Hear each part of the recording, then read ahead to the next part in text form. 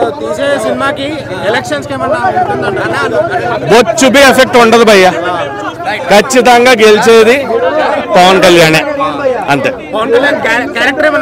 లేదు అదేగా. పవన్ కళ్యాణ్ గారి పేరు చెప్తే థియేటర్లో జనాలు అరుస్తారు. భయపడ్డారా ఏంటి అనేది డౌట్ ఆ పేరే చెప్పలా. షర్మిల మేము షర్మిల గారి ఫ్యాన్స్ అసోసియేషన్ ప్రెసిడెంట్గా.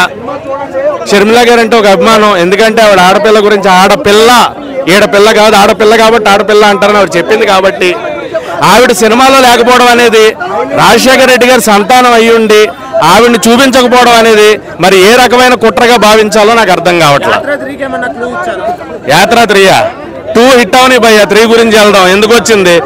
యాత్ర రాజశేఖర్ రెడ్డి గారు మహానుభావుడు. ఆయన గురించి చెప్పారంటే ఒక ఇది ఉంది. జగన్ని ఇంత మంచి నాయకుడిగా చూపించడం ఏంటన్నా? జనాలు ఏమి ఎర్రోళ్ళు కాదుగా? తెలుసుగా? అండ్ ఆయన చాలా ఎక్స్పెక్ట్ చేశా. అంటే నేను ఎక్స్పెక్ట్ చేసింది నిజంగా రియలిస్టిక్గా ఉన్నో చూపిస్తారు అనుకున్నా. అది ఎక్స్పెక్ట్ చేసే వచ్చా. అంటే ఎలక్షన్స్ టైంలో సెవెన్ దగ్గర సంతకాలు తీసుకున్నారు రాజశేఖర్ రాజశేఖర్ రెడ్డి గారు సెవెన్ దగ్గర సంతకాలు తీసుకున్నారు జగన్ గారు. ఆ సీన్ ఏది? కోడికత్తి సీను. జగన్ గారి మీద అటాక్ చేసి జైలుకి వెళ్ళిన మనిషిని గెలిచిన తర్వాత బయటికి తీసుకొచ్చి పార్టీలో నాయకుడిని చేశారు. ఆ సీన్ ఏది? నువ్వు మంచి నిజంగా నిజం చూపించాలనుకున్నప్పుడు ఈ సీన్లు ఎక్కడ పోయాయి? మా షర్మిలక్క గారు ఎక్కడా? లేరు రోజా రోజా గారు పూసే లేదు. కొడాల నాని గారు ఉన్నారు కానీ కొడాల నాని గారు క్యారెక్టర్ ఉంది కానీ ఎర్రిపప్ప క్యారెక్టర్ చేశారు ఆయన. ఆయన పాపం అంత రౌడీజంగా అరిచి గోలబెట్టి నీ అబ్బా నా కొడకాని మారుతాడు కదా మరి ఆయన క్యారెక్టర్ ఇది పవన్ కళ్యాణ్ గారు పార్టీ గురించి కూడా స్టార్టింగ్ లేదో మాట్లాడారట. తలా తోక లేని పార్టీ అని చెప్పి బాబు గారు నోట ఒక మాట అనిపించారు. మరి అది ఆయన అన్నాడా డైరెక్టర్ గారి పాయింట్ ఆఫ్ వ్యూ కాబట్టి. తలా తోక లేని పార్టీ అని ఒక మాట చెప్పావు. జనసేన అని చెప్పి పవన్ కళ్యాణ్ పేరు చెప్పడానికి నీకేంటి భయం అని అడుగుతున్నా. మరి ఆ పార్టీ పేరు బయటికి రావచ్చు కదా బయటికి తీసుకురావచ్చు కదా?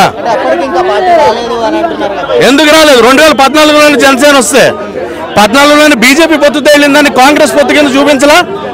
బీజేపీ పొత్తు కదా పెట్టుకున్నది. టీడీపీ కాంగ్రెస్ పొత్తు ఎందుకు అయింది అదే ఊహించలేదు అనుకుంటున్నారు మూవీ. భయపడ్డారంటున్నా.